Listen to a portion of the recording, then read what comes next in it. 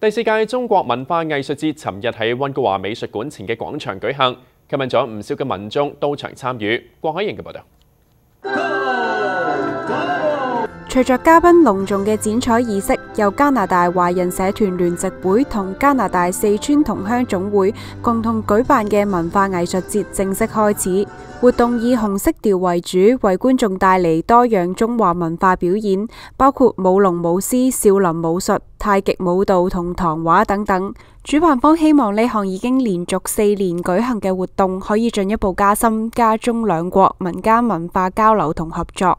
我们一代一代的华人在这里建设加拿大的文化，加拿大的多元文化。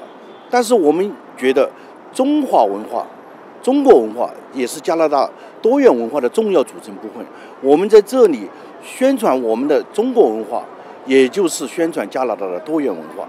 除咗各種表演活動，現場仲有各式民間美食，吉祥物熊貓都喺現場同觀眾同樂。新任中國駐溫哥華總領事楊舒都到場表示，文化節有助促進加中兩國友誼。今天呢，呃，大溫地區的民眾呢，可以在家門口就了解到中國的人文歷史，領略中國的風土人情和特色美食。这有助于增进两国人民的相互理解和友谊，不断丰富加拿大的多元文化。新时代电视郭海莹报道。